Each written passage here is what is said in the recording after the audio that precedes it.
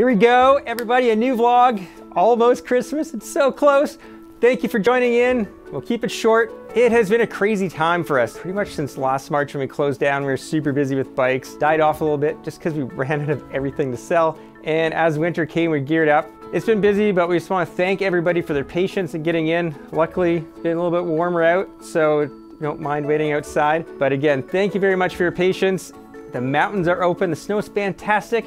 I was up with the kids on Wednesday. Avery was loving it. Jack was having so much fun and the snow is great. Hopefully there's more coming this week and it's gonna be an amazing holiday at Big Lake. That being said, this is probably gonna be a first. Johnny and I were talking about this the other day. I know this is the first in my history of working retail. Our Christmas hours are gonna be different this year. Um, so we're closing early Christmas Eve, uh, we're closed Christmas Day, and we're closed Boxing Day, just to get a little extra break for everybody. But our sales are all online. Everything is gonna be on there. So if you wanna shop ahead to beat the rush, go ahead. We'll package it up and get it ready to go for you on the 27th.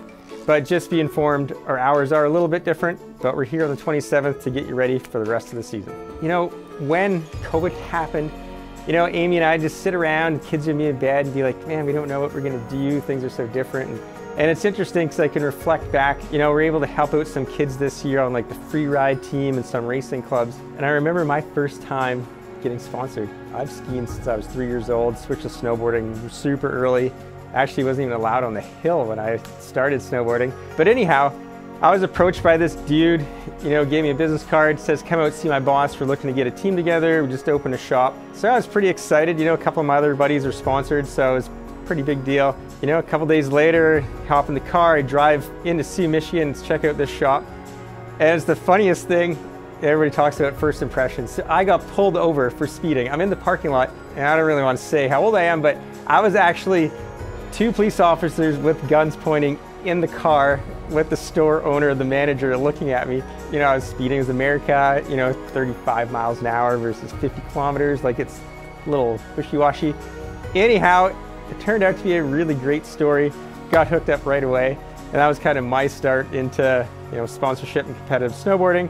Now it's different, you know, Instagram followers, likes, but it's amazing to see everybody still getting out with the same passion and it's just a little bit different. As we finish off the year, I got some homework to kind of tidy up on. We had a little sales contest, or we had a contest with our sales reps about their vlogs. So we had Ryan, Jason, Justin, a lot of text going back and forth. Apparently Justin was disqualified because he's not the rep, he's a sub rep, but his numbers were climbing up high. Ryan and Pete were close.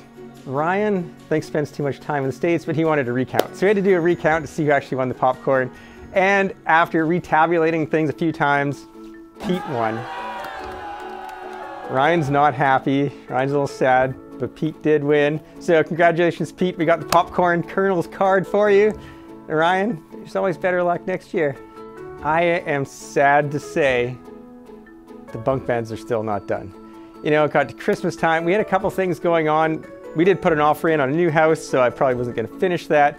We had flooring, we have drywall, and we had a whole bunch of stuff going on to list the house. Never had a chance to finish the bunk beds, but hey, that's what New Year's is for, New Year's resolution. Amy says year of completion, so bunk beds is on top of the list.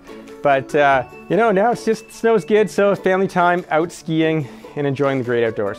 I tried to keep it short. Thank you very much. Thank you. It's been a great year considering all the hard times and constant change going on. But from us, staff at Fresh Air, the rest of the OLRs, thank you very much. Looking forward to seeing you in the new year. Like I said, keep an eye on our website. Our hours are changing over the holidays, but all the sales will be online on our website, freshair.ca. Get out and enjoy the fresh air.